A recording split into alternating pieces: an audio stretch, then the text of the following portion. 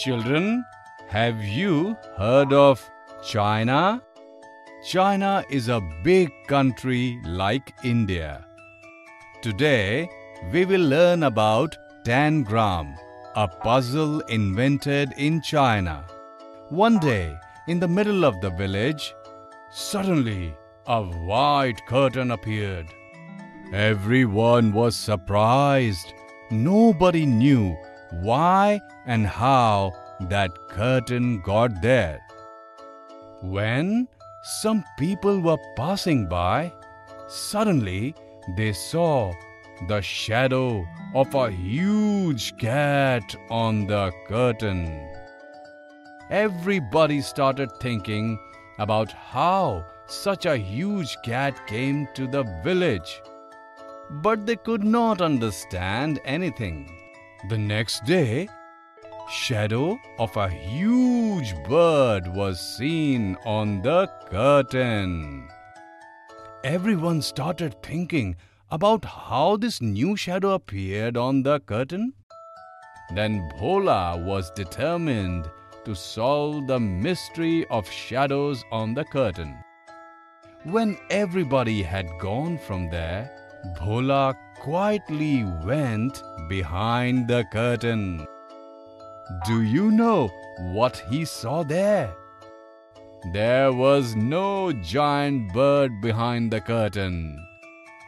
There was only a bird shape made out of pieces of paper.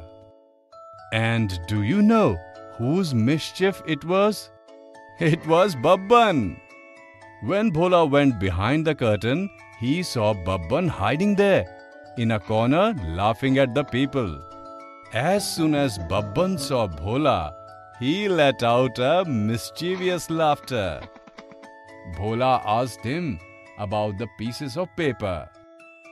Babban is telling Bhola that the five pieces of paper make a square in this way.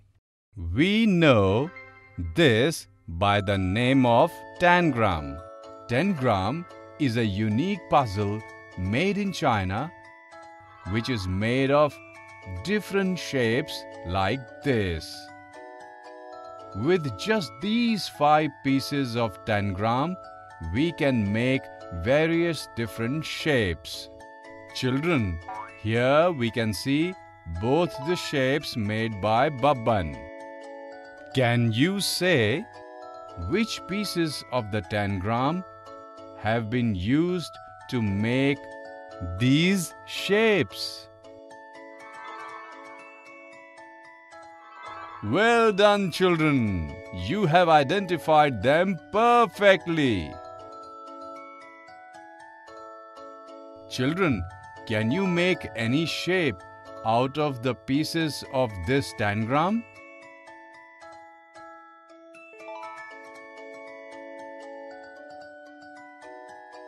Well done, children. You have made very beautiful shapes. You can also try to make these types of shapes. Now what Babban and Bhola will do now, we will see in the next video.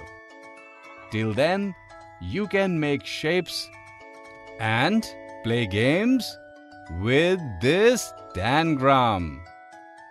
Children, in this lesson, we learned about tangram.